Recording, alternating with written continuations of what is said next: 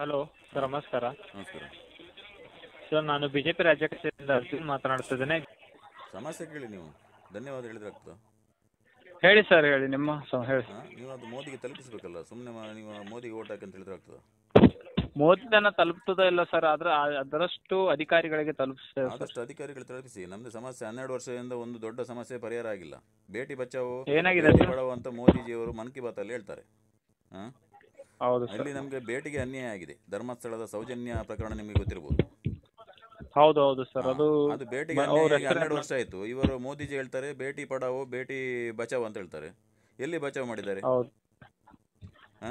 ಅಲ್ಲಿ? ಅಪರಾಧಿನೇ ಇಲ್ಲ. ಆ ಒಂದು ಪ್ರಕರಣಕ್ಕೆ ಅಪರಾಧಿನೇ ಇಲ್ಲ. ಅಷ್ಟು ಹೋರಾಟಗಳು ಅಷ್ಟು ಪ್ರತಿಭಟನೆ ಮಹೇಶ್ ಡೆಲ್ಲಿ- ಅವರು ಮಹೇಶ್ ಸರ್ ಹೋರಾಟ ಹಾ, ಮಾಡಿದ್ದಾರೆ ಮಹೇಶ್ ಶೆಟ್ಟಿ ತಿಮ್ಮರೋಡಿ ಸರ್ ನಮ್ಮ ಅಣ್ಣ ಅವರು ಹೋರ- ಹೋರಾಟ ಮಾಡಿ ಬೆ- ಡೆಲ್ಲಿ ಸಮೇತವಾಗಿ ಹೋಗಿ ಬಂದಿದ್ದಾರೆ ಹೋರಾಟ ಮಾಡಲಿಕ್ಕೆ.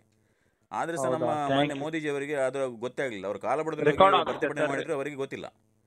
ಹನ್ನೆರಡು ವರ್ಷ ಆಯ್ತು. ಒಂದು ಪ್ರಕರಣಕ್ಕೆ ಅಪರಾಧನೇ ಇಲ್ಲ ಅಂತ ಹೇಳಿದ್ರೆ ಒಂದು ನಾನು ಸೌಜನ್ಯ ಪ್ರಕರಣದ ಬಗ್ಗೆ ಮಾತನಾಡಲು ಹೊರಟಾಗ ಈ ಬಿ ಜೆ ಪಿ ಕಚೇರಿಯಿಂದ ಕರೆ ಮಾಡಿದ ವ್ಯಕ್ತಿ ಉತ್ತರ ಇಲ್ಲದೆ ನಿಮ್ಮ ಕರೆ ರೆಕಾರ್ಡ್ ಆಗ್ತಿದೆ ಅಂತ ಹೇಳ್ಕೊಂಡು ಕರೆಯನ್ನು ಕಡಿತಗೊಳಿಸಿದ್ದಾನೆ. ಯಾರೇ ಆಗಲಿ ಯಾವ ರಾಜಕೀಯ ಪಕ್ಷದಿಂದ ನಿಮಗೆ ಕರೆ ಬರಲಿ ನೀವು ಹೇಳಬೇಕಾಗಿದ್ದು ಒಂದೇ ಸೌಜನ್ಯಗಳಿಗೆ ನ್ಯಾಯ ಕೊಡಿಸಿ ಮೊದಲು. Justice for Soujanya